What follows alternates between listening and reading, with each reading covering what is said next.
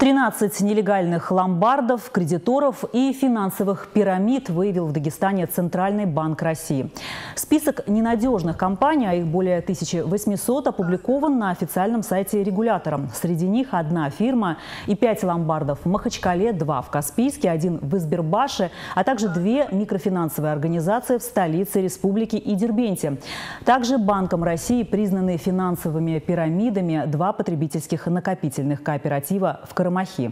Мы хотим обратиться к населению со словами о том, что если вы вдруг э, заключаете договор и э, эта организация оказалась нелегальной а, или оказывающей мошеннические услуги, вам необходимо обратиться в правоохранительные органы.